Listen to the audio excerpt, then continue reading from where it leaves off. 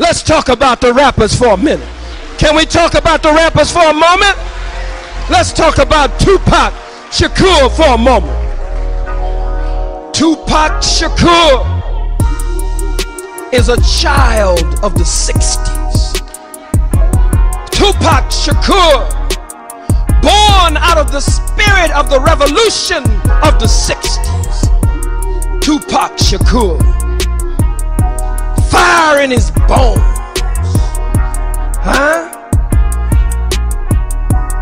Boldness and rebellion in his blood. Born from his beautiful, bold Black Panther mama, Afeni. Sitting in the jail cell, a revolutionary woman carrying the fruit of life, marking the child in her womb, mocking the child with rebellion, mocking the child with insurrection, mocking the child with a spirit to not go along with what's been going on.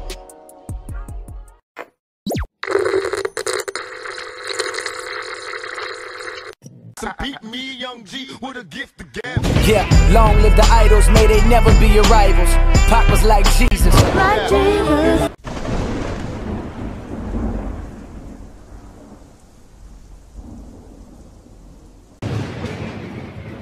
Only Gab can do it like this.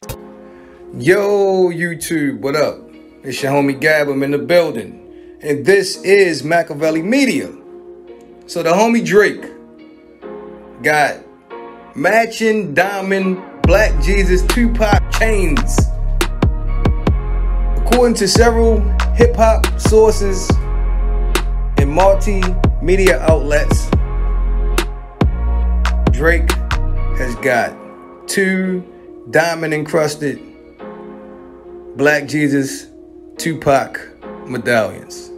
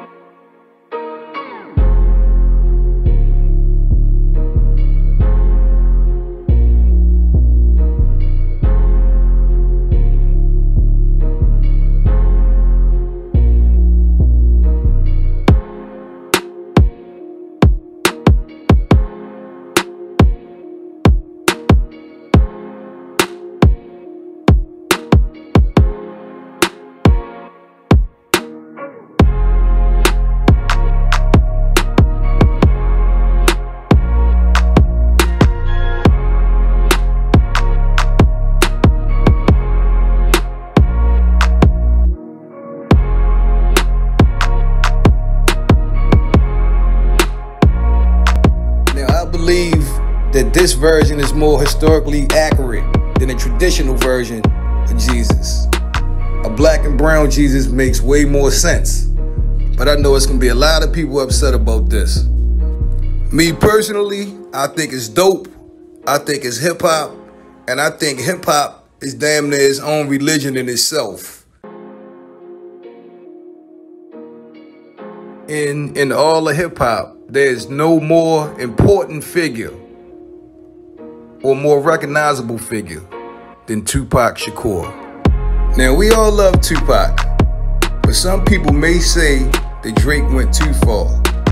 Is this blasphemous? Or in your opinion, is this accurate? Please leave your thoughts in the comments section. Don't forget to sub to the channel. This is Makaveli Media.